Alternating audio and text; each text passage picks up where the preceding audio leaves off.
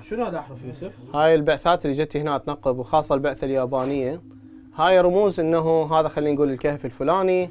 تسميات هم عندهم بالسجلات مالتهم على مود يعرفون تفاصيل كل كهف كل حفرة إيش قد عمقها إيش قد مساحتها شنو تفاصيلها إيش لقوا هياكل عظميه بيها لأنه هنا كانت أكو هياكل عظمية لقوها سابقا بالتنقيب.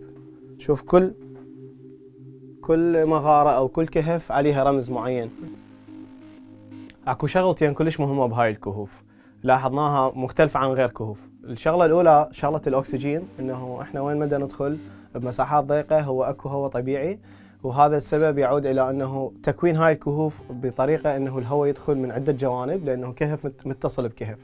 فمسألة الأكسجين أو الهواء دا يفوت ويطلع بكل هاي ال- الممرات الضيقة. هاي الكهوف مرت بثلاث أطوار زمنية حسب ما الباحثين وجدوها. الطور الأول تقريبا سنة 1300 قبل الميلاد الطور الثاني بدأ بسنة 148 قبل الميلاد إلى 126 بعد الميلاد. وآخر طور هو الطور اللي بالعهد الإسلامي تقريبا سنة 636 بعد الميلاد. إحنا دائما نحاول نحشر. أول شيء أتأكد إنه هذا ما متحركة لا تتحرك بس قوية يا الله. واو. جايز شلون تجون وراي؟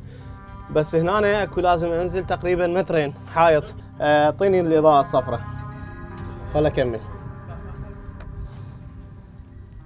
شد. عافية عافية. هاي الطريقة.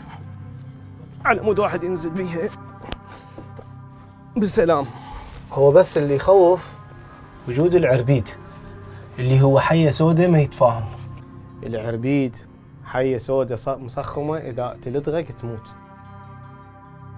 الحفر ال- الممرات هاي كانت كلش مناسبة إنه تكون مقبرة مرتفعة عن المياه لأنه مياه الرزازة كانت توصل لغاية هاي ال- ال- الكهوف اللي إحنا بيها. يعني هاي المنطقة كانت كلها مغمورة بالمياه سابقا.